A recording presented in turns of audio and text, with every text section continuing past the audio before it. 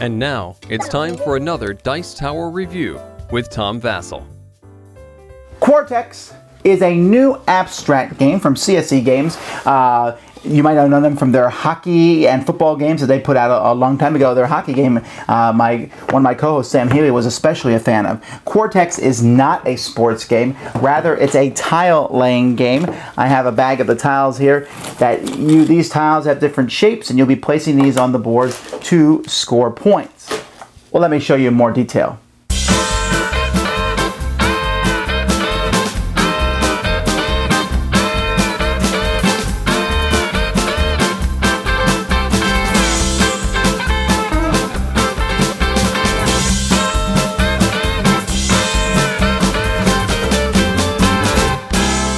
At the beginning of the game, everyone gets five tiles, which they hide behind a shield here.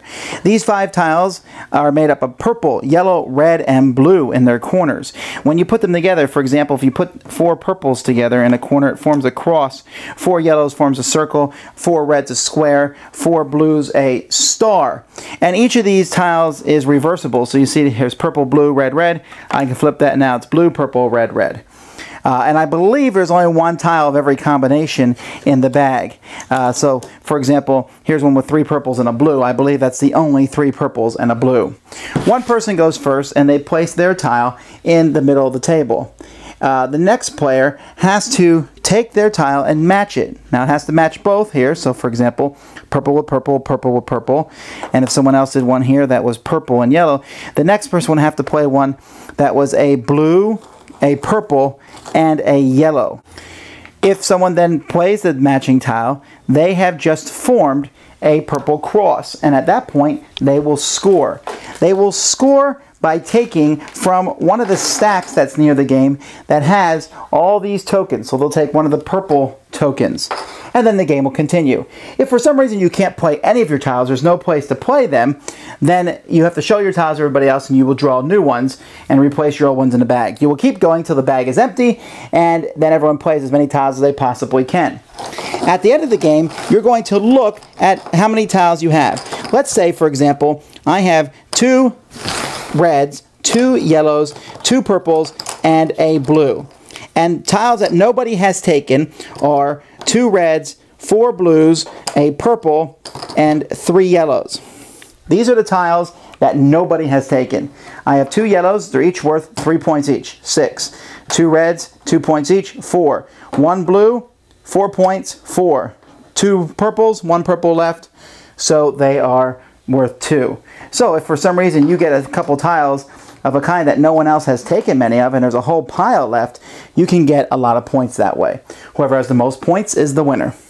Quartex has some good things going for it. The scoring system I like very much because the more you take of uh, a tile um, points to get those, the less they become worth. And so that's a very interesting scoring mechanism. I'm not sure I've seen it in the game before, uh, but I wouldn't mind seeing that scoring mechanic in other games. It's also quick and uh, younger kids are going to probably enjoy Quartex. Unfortunately, those are the only two positive things I can say about this game. Because this game suffers from a humongous flaw, and I'm just shocked that people have kind of missed this. And that's the fact that when you put down a tile, to, to get a token, you have to have the fourth tile. So if I'm making a yellow circle, here's one half, another half, and then someone pulls out a, a tile who is going to put down the third one? Because why would I ever set you up to get a point? And you say, well, you set some up because you have to. Well, yes, and that's what happens in this game. There's really no playing of strategy. You're simply putting a tile out, and if possible, don't set anyone up. If you can't do that, then you set someone up grudgingly. And so the way you're going to win is to set someone else up. So here's what the game will look like. If you play with gamers at all, the game is going to look like one long row because no one is ever going to branch off that row because then it makes the third one. So I think this could be easily solved by making a bit of a grid for Quartex and saying you must stay within that grid. You do that and then there's walls and then things become more interesting. But other than that, it's kind of just an exercise in saying, oh, these are the tiles I have. Let's find the best possible position that doesn't help anybody else. Can I finish something? Hallelujah. Uh, there's really nothing more to the game than that. I wanted to say that it, this game is fun, but I did not find it so.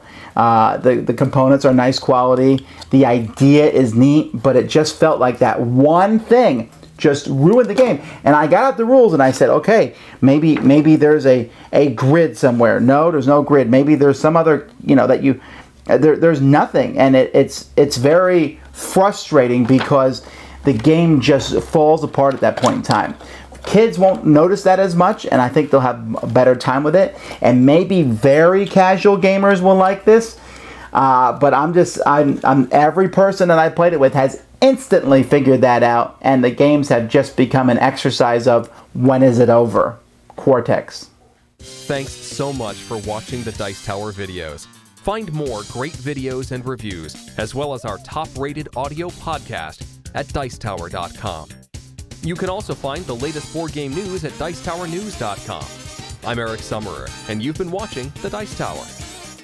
The Dice Tower is sponsored by Fun Again Games, the world's best game source. Fun Again Games has over 5,000 games available. Check them out at funagain.com. Shut the door! That's right. Shut it. There, there.